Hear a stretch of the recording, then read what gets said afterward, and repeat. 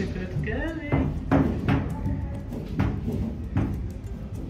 Who's a good girlie? Here's Lora, looking really well. And happy. And also,